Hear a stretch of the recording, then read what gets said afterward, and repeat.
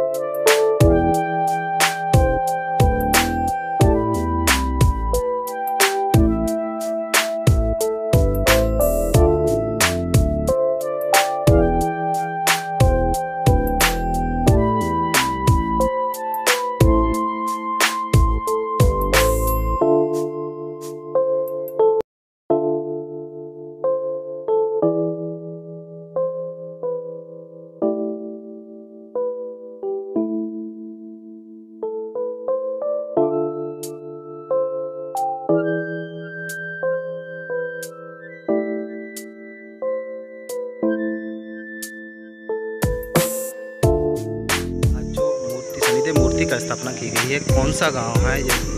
हाँ ये नगला गंगाराम। नगला गंगाराम में शनिदेव की शनिदेव मूर्ति की प्रतिष्ठा की गई है।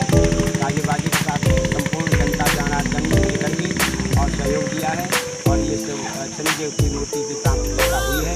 ये गंगाराम नगला से जो रोड गया है देवगढ़ी के लिए।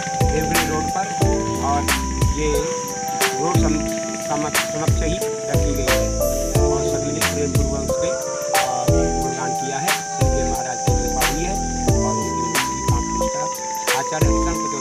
के द्वारा की गई।